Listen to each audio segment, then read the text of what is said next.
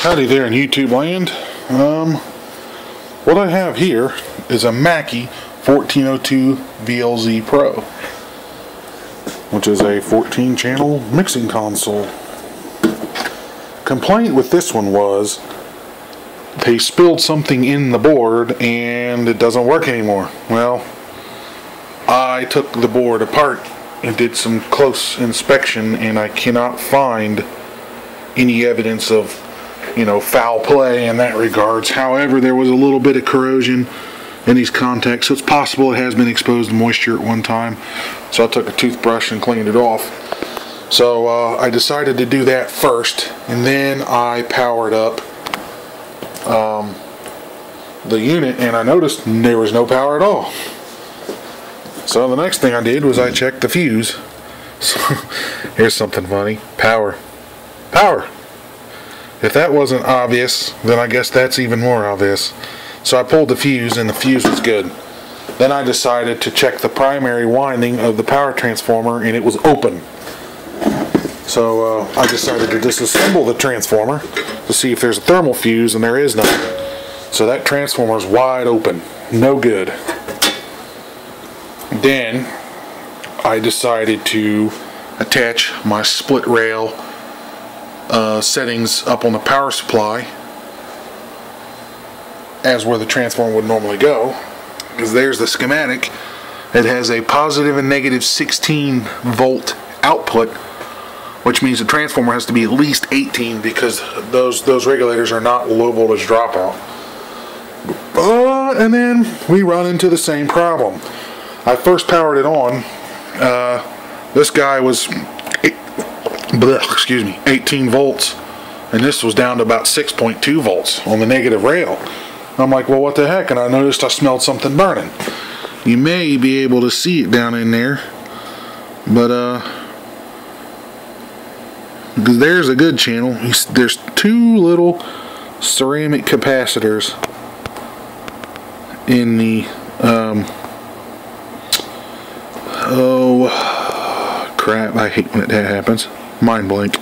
It's two ceramic capacitors, bypass capacitors in the op amp circuit, the 2068 op amp. But if you look at the next one over, you see how it's brown? I pulled that capacitor out. That's where the smoke was going. Here we go again.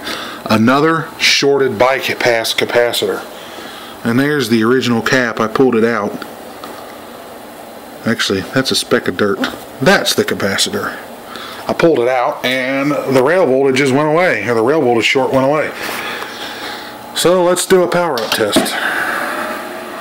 18.3 volts. I've got some segments out and those use the ICL series chips and they're common for that crap. We're idling at about 270 milliamps, 280 milliamps per rail. Uh, here we go. This was the affected channel.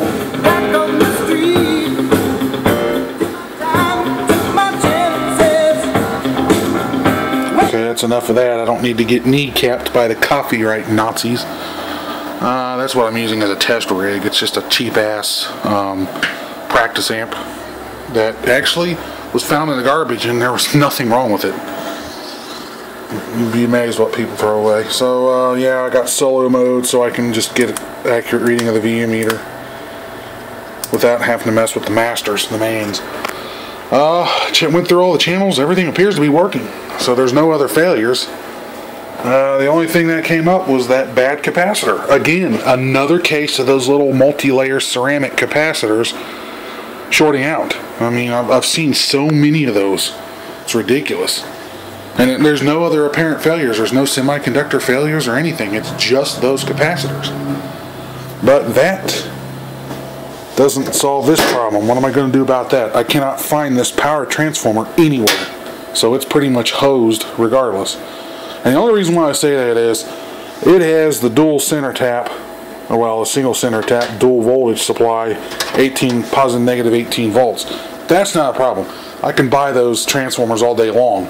But not only that, it also has a 48 volt or 50 volt tap for the phantom power, which is the microphone power to the preamps inside microphones. because you might have an, a, a, dynamic mic or an electret mic that's a long run. There's a preamp on the end of the microphone, so it sends power down the cable. That's the 48 volt phantom power. Well, that comes off the tap, one of the taps. So I would lose if I just replaced that with a generic transformer. I would lose phantom power. I wouldn't be able to have that. The phantom power would have to be external. So I don't know what to do about that. I did some eBay searching and stuff like that, and I can't find that transformer.